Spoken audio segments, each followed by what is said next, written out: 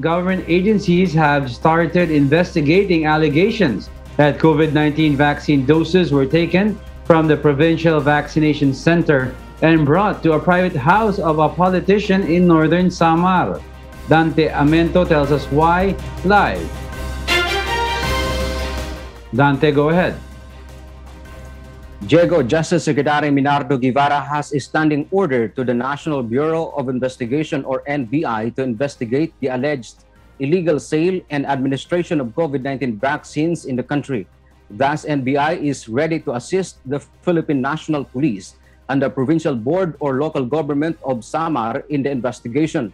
This is after reports surfaced about the transfer of more than a dozen doses of COVID-19 vaccines to a politician's house which were allegedly inoculated to the politician's security escorts. Meanwhile, DOH spokesperson Undersecretary Maria Rosario Berjere asks the public to be vigilant over the supply of vaccines. Gusto lang ho namin magpaalala sa lahat uh, para po sa ating mga kababayan, bantayan natin yung mga bakuna natin. Para sa atin pong lahat to, it is really very important na kahit isang dose ay mabantayan natin para po uh, hindi po mapunta sa waste ang ating mga efforts at saka magkaroon po ng bakuna ang lahat ng nangangailangan. DOH also warns local government officials and asks their cooperations to avoid such incident which will affect public trust.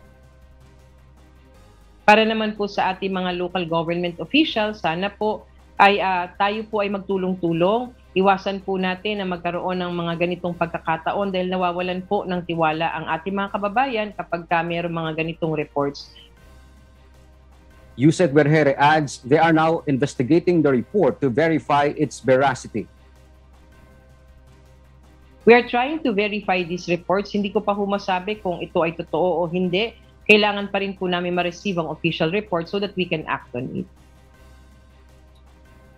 Diego Curti, there is no existing rule or order that will or that allow allows a vaccination rollout to be conducted in private area or setting. And that's the latest live. Back to you, Diego. Thank you for that report, Dante Amento.